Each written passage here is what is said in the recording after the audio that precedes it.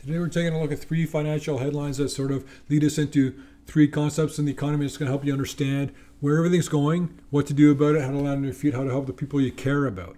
Credit card losses are rising at the fastest pace since the great financial crisis. These are all from CNBC and they're talking points to get us started talking about a few things I'm going to be telling you. Social security benefits may be cut by at least 20% in the next decade. European Union does not want to decouple from China but must protect itself, says EU trade chief. When you see what I've got to say about these three articles, some of the other things I'm adding a bunch to it, adding a little bit of color, you're going to have a better understanding about the entire economic system you're dealing with right now and know what moves to make next. And by the way, the best comment beneath this video we're going to pull out and talk about in an upcoming video. Welcome to the channel. My name is Peter Leeds, and we're all about getting you profits quickly and easily. Peter Leeds, Premium Investor Enlightenment. Social Security benefits are at risk for a crisis of cuts in the next decade. Oh, really? Wasn't I telling you guys about this before? That's when they should have started fixing it, was then, not now. But now everybody knows about it. It's going to be a problem because they waited too long. As you guys know, this is coming for a while. I've been telling you guys about this for ages. Now it's starting to get into people's awareness. You're seeing the benefits decreased. You're going to start seeing the contributions increased. You're going to start to see the services provided declining. Since it's playing out, I'd like to show you now on the other side of things when you know what I talked about before about this, and now we're on the other side of it, I'd like to show you, say, this is what I was talking about. When my theory becomes an unfortunate reality. I'll do the exact same thing again once gold prices finally do what I've been expecting them to do for so long. But like I say, I was way too early on that, so it means I was still wrong. I was wrong on gold, but I do believe it's going to go up tremendously in a short window of time going forward. I don't mean within weeks, but I mean in the next few quarters. And I'll do it again once real estate finally does what I've been telling you it's going to do. It already came down a lot in Canada. It'll happen even more. It'll have, and by the way, Canada, it's debatable, but they're in a recession right now. But in the States, once house prices finally come down like I've been expecting for a while, then we're going to talk about it again. Already did it with the metaverse, the altcoins. And while we're on the topic, let's bring up the Iraqi dinar binary options, the overvalued stock markets we saw until recently. They're still overvalued now. I think there's a lot of downside ahead of us, but they're certainly not as overvalued as they were when I was most concerned about it a while back. And all this is not to mention the bond meltdown when I told you everything's going to come down together. Altcoins, metaverse, bonds, stocks came down. Bitcoin came down from its high around 70,000. But my most impressive call, my favorite call in recent history, has been the big inflationary bounce. This is playing out. When did I first start talking about this? You guys were here. It's about a year and a half ago. The big inflationary bounce played out from what I told you a year and a half ago. It's playing out exactly right now. Social Security, all these unfunded liabilities, all of them have always been on this path, just like the government is always on the path to run out of money because they never fix the problem and they just keep reacting to this big calamity if we don't pay what we owe. But then they never fix the problem. Just wait till the next time because they're getting a paycheck. They're looking important. They're being involved in something that they feel is epic and meaningful. But at no point are they doing things in the way that would be best for you. Social Security will have to reduce payments, increase contributions, lower services, and the only way that they'll be able to exist on an ongoing basis is if they get funding from the government, which means our government will have more debt on their books, which means that your share of that debt that you owe is greater. So rather than fix the problem and manage things on a fiscally responsible level, it's easier just to have a hidden way to put it on your shoulders when nobody's looking, which leaves you with only two choices. Either we pay the debts we have, which I don't think there's a mathematical way to do that, or we don't, which is a default. People always say, well, we'll just print whatever money we need to pay off the debts we have. Theoretically, yeah, that would totally be a doable thing. First of all, I don't believe that the complete destruction of a currency is a form of repayment. It's not a repayment at all, it's a destruction, it's a default. You could wind up with no governmental debt. If that were to happen, your house would be worth $14 billion. Will you say, isn't that great then? Aren't I wealthy at that point? This exact thing is playing out some places right now. Venezuela being one of them, which is why you're seeing all these people coming over the border right now from Venezuela. You cannot print your way out of debt like that. Other countries have tried it as well, and it's always gone the exact same way the complete destruction of social order, the complete insolvency of any kind of productivity. As of August 2023, more than 7.7 million people have left Venezuela, making it one of the largest external displacement crises in the world. This is from USA Today. Increasing social security taxes put a burden on workers across a range of income levels. And it's a solution many people might end up sorely unhappy with. It's not a solution. People are going to be very unhappy, but it doesn't matter because there's nothing that anyone is going to be able to do about it. You get what they give you. And it's a good idea to gear up for the fact that Social Security taxes could grow even more burdensome in the coming years as lawmakers attempt to prevent cuts. They're going to have to provide fewer and fewer services. This is a 100% fact. I'm just the one telling you ahead of time. There's a wide range of estimates about when Social Security runs out of money.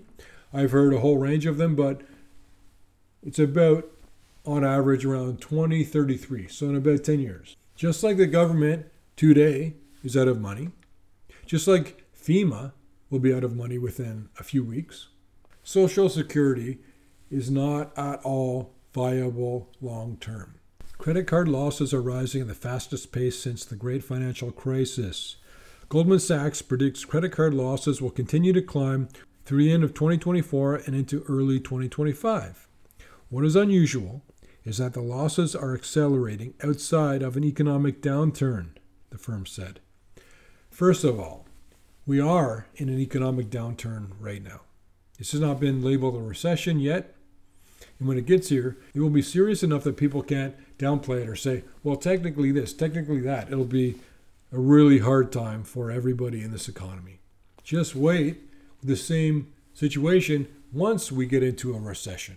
Germany is on its third quarter of a recession. I told you ages ago that there's going to be those recessions in Europe, and there's a bunch of other countries on the bubble right now that are either in or are going to be in a recession within quarters. Canada's in a recession right now. Is America next? I believe, and you guys know if you've been around, you know that I believe for sure it is.